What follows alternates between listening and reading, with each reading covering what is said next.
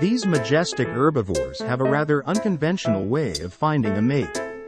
When a male giraffe spots a potential lover, he'll start nuzzling her rump until she pees.